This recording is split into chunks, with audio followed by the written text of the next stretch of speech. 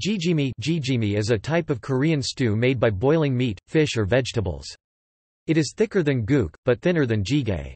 Joseon Mussang Sinsik Yori Jebeop, the first color-printed Korean cookbook published in 1924, states that jijimi tastes better than guk, and jjigae tastes better than jijimi, being smaller in quantity and savorier.